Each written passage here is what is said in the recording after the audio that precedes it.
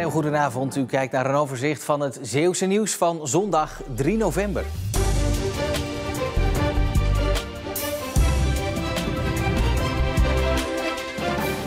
Een grote kerstboom of een iets kleinere, er is genoeg keuze hier in Zuiddorpen. Terwijl ze een paar jaar geleden nog last hadden van veel droogte, is er dit jaar wel genoeg regen gevallen.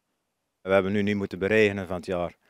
Eh, De grond is altijd lekker zacht, eh, is lekker nat gebleven, ondanks eh, ja, van de zomer een paar weken mooi weer had. Maar goed, de grond zat nog altijd goed verzadigd.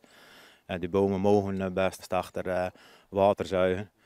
Dan, dat is beter voor de boom zelf, dan krijg je een mooiere boom. Dus, nee, voor ons een positief jaar wat dat betreft. Terwijl de bomen in Brabant juist een hoop schade hebben gekregen van de regenval, valt dat hier enorm mee. Die grond daar is misschien een ander soort zand. Het is wel zandgrond meestal daar. Die laat iets slechter water door misschien.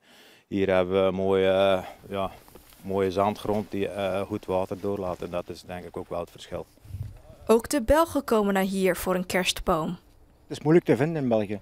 Dus daarom zijn we hier eh, terechtgekomen in Nederland. Ja. Er is natuurlijk wel schade bij de kwekers.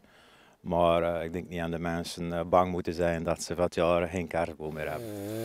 Kortom, deze kweker is voorbereid op een grote toeloop. De 37-jarige oorlogsveteraan Anton Notenboom uit Goes, alias de Barefoot Dutchman, bereikte gisteren zijn doel. Na ruim acht maanden lopen op blote voeten arriveerde hij op Times Square in New York. Hij heeft ruim 5000 kilometer gelopen, dwars door de Verenigde Staten. Hij wil daarmee aandacht vragen voor mannen met mentale problemen. Met de actie heeft hij bijna 100.000 dollar opgehaald. Uit onderzoek van Natuurmonumenten blijkt dat jongeren onder de 35 het moeilijker vinden om vogelsoorten en planten te herkennen dan ouderen. Dus ik ga met deze plaatjes Middelburg in om te kijken hoe de jongeren het doen. Het onderste is dat een eh viooltje. Ja, die is helemaal goed. Nou, dat is er één, hè? Ja, die bovenste vind ik eh, prachtig, maar eh, zegt me helemaal niks. Een mus of zo? Ik, vergeet- Ja, de onderste is een mus, dat is goed. Maar de bovenste? ik zou het dan ook... Nee, de bovenste weet ik niet. Alleen de onderste weet ik. eh. Uiteindelijk denk ik dat het grootste probleem is dat we te weinig in de natuur zijn, met de natuur in aanraking komen. En dat dat, dat er eigenlijk vooral aan de grondslag ligt. Dat, Wat zou je eraan kunnen doen? ja, gewoon naar buiten, veel naar buiten, naar de natuur gaan. Die nieuwsgierigheid moet geprikkeld worden.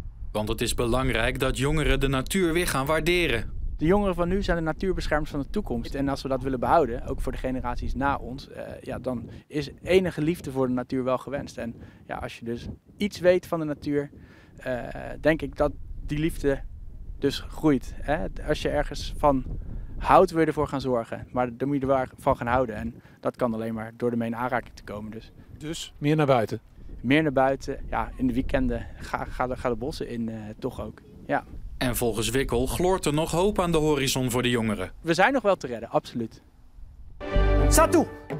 Sergio Sodi Cromo is nu nog gewoon te vinden in Vlissingen, maar eind dit jaar gaat hij naar Abu Dhabi.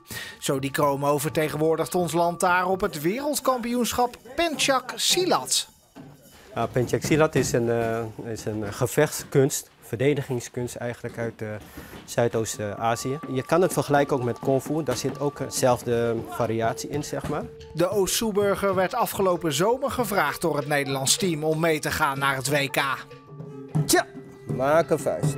Wat ik ga doen is de solo creatief. Dat is ook een genie, een kunstvorm. Binnen drie minuten moet je inderdaad eh, gewapend en ongewapend ja, eigenlijk je vorm laten zien.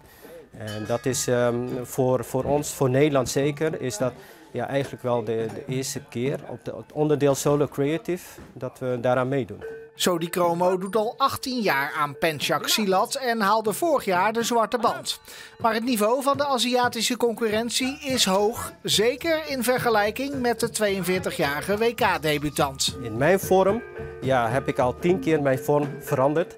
Eh, omdat het op, basis van een wedstrijdelement gedaan moet worden. En hoe ik dat ga doen, ja, dat is heel moeilijk. Maar ik vind het eh, een uitdaging om op die manier ja, eh, mijn sport te bedrijven. Het WK Pencak Silat in Abu Dhabi is van 18 tot en met 22 december.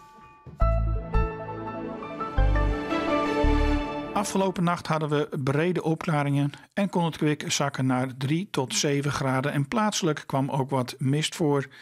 Maar die zonnige perioden hielden het in de ochtend niet lang vol, want we kregen in de loop van de dag te maken met laaghangende bewolking en ook mist uit het zuiden van Nederland, uit Brabant, die weer de provincie binnenschoof.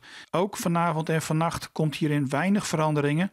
Soms zijn er brede opklaringen en dan kan het vannacht even flink afkoelen naar 2 of 3 graden, maar er is plaatselijk ook sprake van mist en laaghangende bewolking. Morgen zijn die laaghangende bewolking in eerste instantie nog aanwezig, maar in de loop van de dag kan de zon wel af en toe even tevoorschijn komen. En komende week houden we droog weer. Het blijft in eerste instantie ook vrij zonnig. De wind die komt uit het zuidoosten tot zuidwesten en is zwak tot matig. En de maximumtemperaturen liggen rond 12 graden. Tot zover het Zeeuwse nieuws van vandaag. Het laatste Zeeuwse nieuws dat vind je natuurlijk ook altijd online in onze app en ook op omroepzeeland.nl. Ik wens u voor nu nog een heel fijne zondagavond en heel graag tot morgen.